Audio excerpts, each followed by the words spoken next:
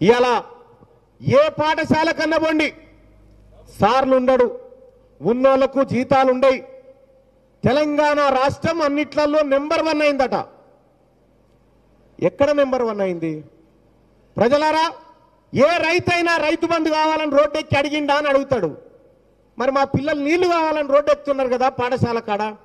మా పిల్లలు మరుగుదొడ్లు కావాలని ఎక్కుతా ఉన్నారు కదా మా పిల్లలు పుస్తకాలు కావాలని ఎక్కుతా ఉన్నారు కదా మా పిల్లలకు బట్టలు కావాలని ఎక్కుతా ఉన్నారు బండ్లే సారు కావాలని ఎక్కుతా ఉన్నారు. ఇవి ఎందుకు చేయవు?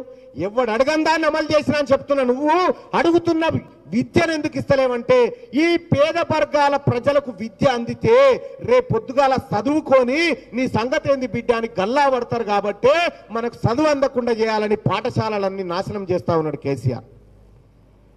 ఒక కేసీఆరే కాదు. రేపు వచ్చిటోడు ఎవడొస్తాడో? రేపు వాని కథ ఇట్లనే ఉంటుందేమో. సార్ ఒక మాట చెప్పిండు శరత్ సార్.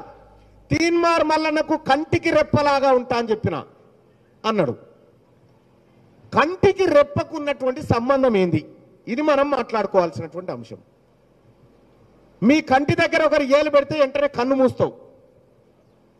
కన్ను ఎట్లా మూసింది? ఈ రెప్ప కాపాడింది ఆ కన్నుని. ఈ కన్నుకు ప్రమాదం వస్తుందంటే రెప్పడ్డం వచ్చి అడ్డుకుంటుంది కదా. మరి తెలంగాణ రాష్ట్రమే కన్ను అనుకుంటే నువ్వు రెప్పెందుకు కావని నేను అడుగుతున్నా. మనల్ని స్కూల్లోనే ఒక యూనిఫామ్ సిస్టమ్ ఉంటుంది. బడి లోపలికి గేటు లోపలికి పోయిన తర్వాత కులం మతం వర్గం పేద ధనిక అనే తేడా ఉండకూడదు. ఉండదు కూడా. అందుకోసమే ప్రతి బిడ్డకు ఒకే రకమైనటువంటి యూనిఫామ్ వేసేటువంటి సిస్టమ్ ఉంది.